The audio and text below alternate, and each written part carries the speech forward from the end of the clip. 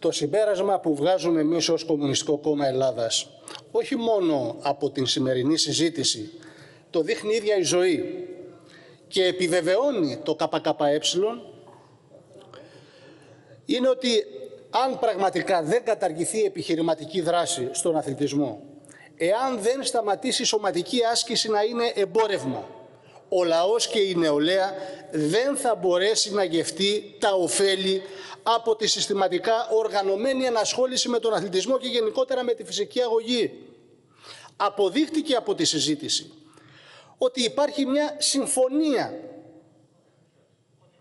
ανάμεσα στην κυβέρνηση και στα άλλα κόμματα, σιωπηλή, φανερή, ανεξάρτητα το τι θα ψηφίσει τελικά ο καθένας, πάνω σε ένα θεμελιώδες ζήτημα. Ότι ο αθλητισμός, και το ασπάζεστε όλοι σας, ότι ο αθλητισμός πρέπει να υποταχθεί πλήρως στις ανάγκες της καπιταλιστικής αγοράς. Όλες οι άλλες αψημαχίες που κάνατε εδώ πέρα μεταξύ σας είναι για το Θεαθήνε. Είναι πραγματικά για το Θεαθήνε. Αποδεικνύεται όμως και κάτι άλλο. Ότι ο δρόμος για τη μόνιμη και οριστική ικανοποίηση της ανάγκης για σωματική άσκηση περνάει πραγματικά μέσα από την απαλλαγή της εξουσίας των μονοπωλίων με την εκαθίδρυση ενός κράτους που μπορεί πραγματικά να σχεδιάζει και να υλοποιεί τον αθλητισμό έτσι ώστε να ικανοποιεί τις ανάγκες της πλειοψηφίας του λαού. Και αυτό το κράτος δεν μπορεί να είναι άλλο παρά μόνο ένα σοσιαλιστικό κράτος. Άλλωστε το ζήσαμε κατά το παρελθόν. Ζήσαμε τα επιτεύγματά του και στον αθλητισμό. Και να είστε σίγουροι ότι θα επανέλθει αργά ή γρήγορα σε σχέση με την υπουργική τροπολογία. Καταρχήν, η υπουργική τροπολογία έχει πέντε άρθρα. Δεν ξέρω αν τελικά θα σπάσουν και θα είναι ξεχωριστά άρθρα μέσα στο ίδιο νομοσχέδιο για να δοθεί δυνατότητα να ψηφίσουμε έτσι αυτό που πραγματικά θέλουμε.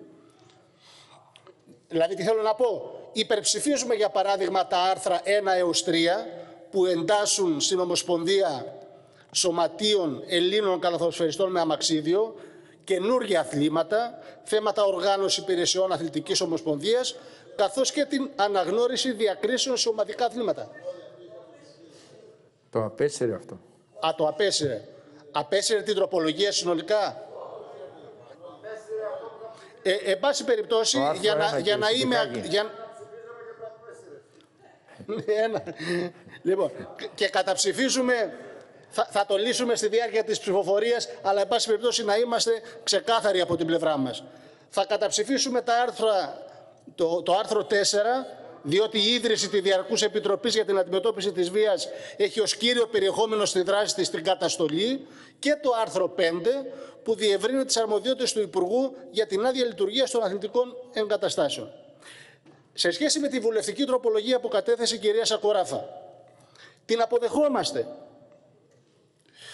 και προβλέπει την τροποποίηση της παραγράφου 4 του άρθρου 7 του καταστατικού της ΕΟΕ για να ξεμπλοκάρει η διαδικασία εκλογής αντιπροσώπου του ΣΕΓΑΣ στην Ελληνική Ολυμπιακή Επιτροπή.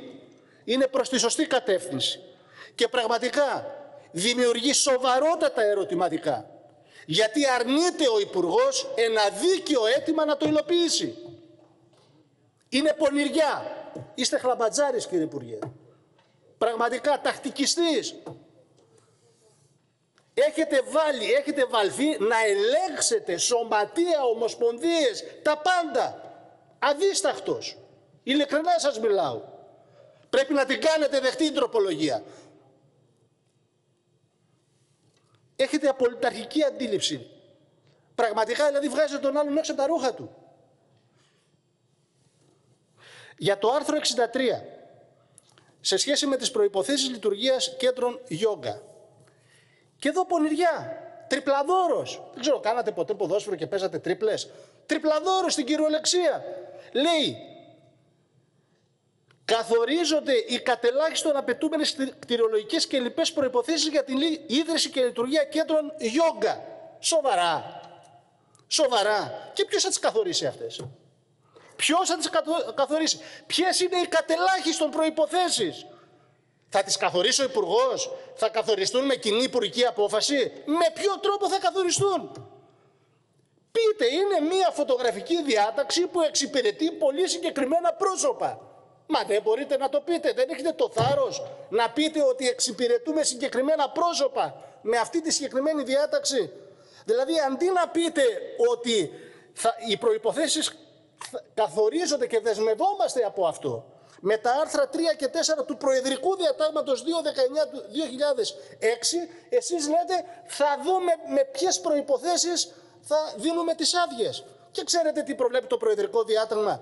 Δηλαδή, για πέστε μου τώρα, ο διευθυντής των γυμναστηρίων, των ιδιωτικών γυμναστηρίων δεν θα είναι πτυχιούχοι τεφά. Οι διδάσκοντες δεν θα είναι πτυχιούχοι τεφά. Τα μέσα που θα χρησιμοποιούνται, όργανα, μηχανήματα, δεν θα είναι τα κατάλληλα και τα πιο ασφαλή. Δεν θα χρειάζεται η ειδική κάρτα υγείας. Δεν θα υπάρχει επαρκής φωτισμός. Θα απαγορεύεται. Δεν θα απαγορεύεται η άθληση στα υπόγεια. Δεν θα υπάρχουν μέτρα ασφαλείας. Και μέσα πρώτο βοηθειών. Δεν θα υπάρχει πυρασφάλεια. Δεν θα υπάρχει φαρμακείο. Μα αυτά λέει το Προεδρικό Διάταγμα. Και εσείς το ακυρώνετε. Εσείς το ακυρώνετε. Απαράδεκτη. Απαράδεκτη στάση σας. Και κλείστε σιγά. Τώρα με τις νομοτεχνικές. Μάλλον αυτή ήταν νομοτεχνική. Ήταν η 26 νομοτεχνική που αφορούσε τις προϋποθέσεις λειτουργίας των κέντρων γιόγκα. Υπάρχει μια άλλη νομοτεχνική. Εξίσου απαράδεκτη. Εξίσου... Απορώ, εσείς δεν λέτε τίποτα. Η, η συγκήτρια της Νέας Δημοκρατίας, δηλαδή συμφωνείτε με αυτά τα πράγματα που συμβαίνουν; Συμφωνείτε. Δηλαδή, λέει με απόφαση του Υπουργού ρυθμίζεται ο τρόπος ορισμού των εκπροσώπων των ενεργεία αθλητών αθλητριών και των ενεργεία προπονητών προπονητριών και των απληρωτών τους στα διοικητικά συμβούλια των Ομοσπονδιών. Με ποιο δικαίωμα, πέστε μου, με ποιο δικαίωμα παρεμβαίνει ένας υπουργός στις Ομοσπονδίες; Ο υπουργός θα καθορίσει ποιοι θα εκπροσωπούν τις Ομοσπονδίες. Είναι φανερό ότι επιχειρεί να αλλάξει συσχετισμούς. Καλά σας το είπε κάποιος. Φέρτε μας την ονομαστική κατάσταση να μας πείτε ποιοι είναι αυτοί που θέλετε να προωθήσετε. Γιατί δεν το λέτε. Δεν έχετε το θάρρος. Όπως έχετε το θάρρος και την πονηριά ταυτόχρονα να κάνετε αυτές τις αλχημίες, να έχετε και το θάρρος και να πείτε ναι το κάνω και είναι αυτά τα πρόσωπα που θέλω να εξυπηρετήσω. Γιατί δεν το λέτε. Αυτοί πρέπει να εκλέγονται από τα σωματεία τους. Από εκεί πρέπει να εκλέγονται. Πρέπει λοιπόν να την αποσύρετε εδώ και τώρα. Ήδη έχετε σπείρει ανέμους και θα θερήσετε θύελες με αυτή την ιστορία. Έχετε ξεκινήσει από τα όρια, της, τα όρια ηλικίας, τις θητείες ομοσπονδίες, το αθλητικό μητρό. Δηλαδή και τι δεν έχετε κάνει, αρκεί να ελέγξετε, είστε κλογομάγειρας.